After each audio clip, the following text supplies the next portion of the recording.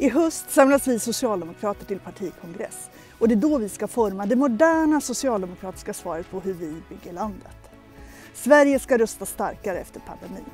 Det ska vi göra genom att fortsätta sätta välfärden främst, skapa framtidsutsikter för unga, driva en klimatpolitik för jobb och tillväxt i hela landet. Och vi ska göra det med alla människors rätt till trygghet i centrum. Vi socialdemokrater har gjort det förut och vi ska göra det igen.